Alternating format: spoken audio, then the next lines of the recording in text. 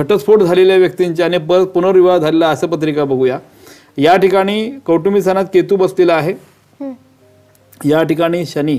विवाहाचा कारक मंगळ हा ह्याच्या व्ययामध्ये गेलाय तो वक्री झालाय. आणि इथं उदित अंशी जो बसलेला शनी जो आहे हा शनी ह्याच्याबरोबर स्टार्टिंगला शनी मंगळाच्या युतीमध्ये आहे. त्यामुळं या ठिकाणी डायरेक्ट घटस्फोट झाला. लग्न झाल्यानंतर एक वर्षभरातच परत त्या व्यक्तीचं लग्न झालेलं आहे. खालची पत्रिका बघितली शनी मंगळ या ठिकाणी शनी मंगळ केतू हे तिन्ही ठिकाणी पराक्रम स्थानात बसलेले आहेत. पत्रिका मंगळाची नाही आहे मकर राशीची पत्रिका आहे आणि चंद्र पण स्वस्थानात व्यवस्थित घटस्फोट होईल असं वाटत नाही पण तरी सुद्धा बाकीचे फक्त मंगळच नाही मंगळ जरी नसेल तरी सुद्धा घटस्फोट झाला. घटस्फोट हा दोन वर्षांनी झाला आणि त्या व्यक्तीचं परत दीड दोन वर्षांचं लग्न झालेलं आहे.